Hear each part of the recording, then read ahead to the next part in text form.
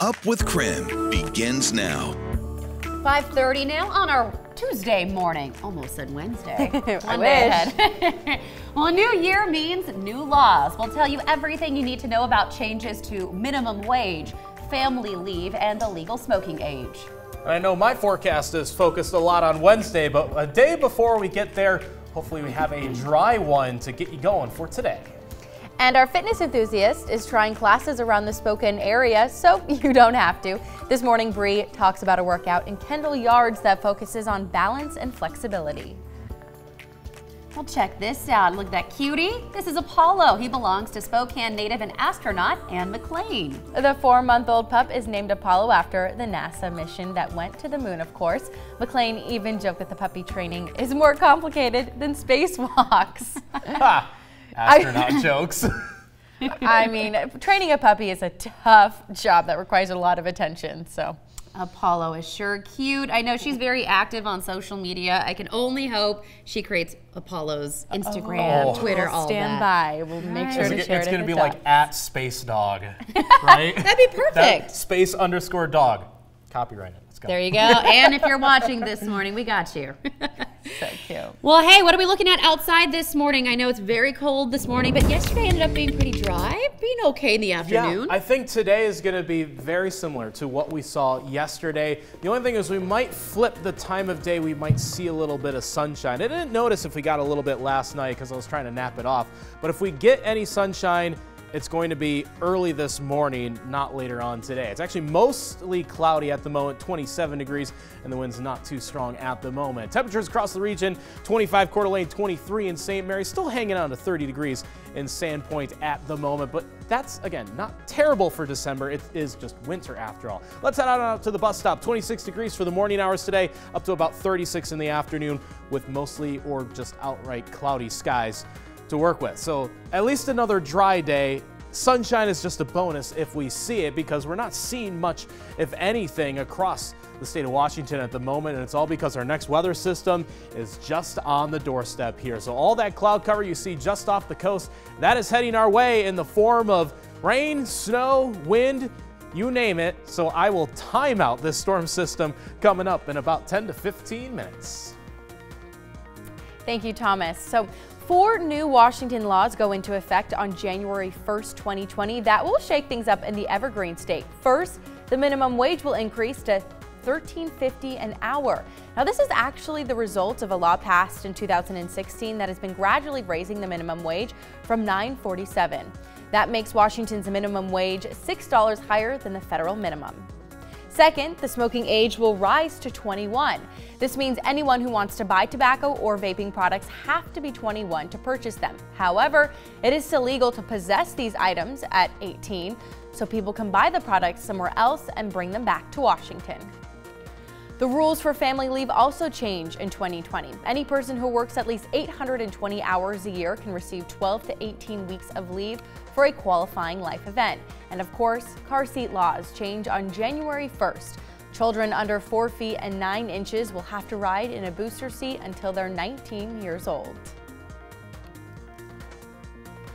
It is 534 now. Well, a vote failed to end the strike at the Lucky Friday mine in North Idaho. Yesterday, union members rejected the latest offer from Hecla. That proposal failed by nine votes. 157 out of 190 90 miners mailed in ballots. At least one miner admitted they were ready to get back to work. They called the proposal better than what Hecla implemented before the strike. Now, that strike started in 2017, and since then, many workers have moved out of the Silver Valley or have taken new jobs. An investigation is underway this morning about racial comments made at a Moses Lake basketball game. It happened last week at a match with Davis High School. Witnesses say a parent yelled a racial slur during the game. And since that incident, Davis parents started a petition to ban racism in high school sports. The petition has almost 500 signatures. College leaders in the Pacific Northwest may still feel the impacts of the last recession. It hit in 20, uh, 20, 2007. Now, during that time, experts say people delayed having children, and that means universities are preparing for smaller class sizes in a few years. Some leaders say schools are already adjusting their recruitment strategies to address the issue. Family members may soon be able to meet loved ones at the gate at SeaTac International Airport. Airport leaders say they will now issue 100 trusted visitor passes each day. People must apply ahead of time online. SeaTac is one of three airports in the country to use those visitor passes. I remember the time when we could go to the gates to actually meet our friends and loved ones um, at the gate. After 9 11, all of that um, changed. Well, the airport expects demand for those passes to be high, especially during the holidays. Seattle Seahawks wide receiver Josh Gordon is suspended from the team. Team leaders say he violated the NFL substance abuse policy. And this is not his first suspension. League investigators forced him to sit out three games last year and two games in 2013 for the same issue. Now, the NFL has not specified what substance is involved. Gordon joined the Seahawks earlier this year after being released from the New England Patriots. Well, that's your morning rush. More news in less time. Let us know what's happening in your neighborhood by using the hashtag UpWithKrem on social media. Well, the Spokane family is bringing together a community in a unique way, and it all started with chickens like this. Check out their home. Oh, the sun's coming out, buddy. The Schluters live in a normal house at the end of your regular suburban cul-de-sac. But their backyard is anything but ordinary. You wanna go find your chickens? That's because this is the 1010 farm. You can pet them. So we stuck a sign out on uh, Sullivan and said, feed a goat 25 cents. And it took off. People grab animal feed like it's candy from this handy machine that Josh Schluter built. And while they're at it, they feed the chickens, ducks, and a pig too. I think everybody's shocked that you can have some goats like this here in the city. They're really excited to have something local like this. So excited that this little machine is actually making the family some money. I think this year we might be up to like five or six hundred bucks.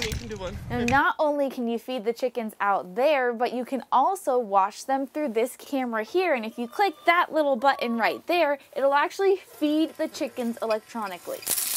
And that's how it all started. Just a simple webcam, Yeah, this is, it's been very nice to have here. especially for little Emmett. With a pig I thought he should grow up with some animals and some responsibilities and he loves it. cupcake and a brownie. Even though Emmett is just in kindergarten, Food, See the world. he's already growing up just like dad. I grew up, yeah, right here in Spokane Valley. I graduated from Central Valley in 2000. Now his backyard farm basically shares a fence with his alma mater. This is home. Home for the Schluters, all their animals, and of course, the neighborhood kids' quarters. In Spokane Valley, Nicole Hernandez, KREM 2 News. Oh, that's just like where I grew up, where you have your school, then a farm, and then a school, then a farm, and not uncommon to see farm animals walking around town. Did anybody have one of those um, things where you could put quarters in and then get some food? Didn't have that. I know. I think that's, That's pretty cute. cute. I think I kids would get excited about that too. I like the little piggy. He wasn't little. He was a big. He was a big boy, yeah. yeah. Very fun. All right, 539 now. Well, in our next half hour, we're telling you about some backlash after a nonprofit is facing after hiring an adult performer for a conference. And two pro impeachment rallies are planned today in Spokane. We'll tell you more about those efforts up ahead. And congratulations this morning to Margaret. You've just won two Up with KREM coffee mugs, coffee beans, and a gift card to Thomas Hammer Coffee Roasters.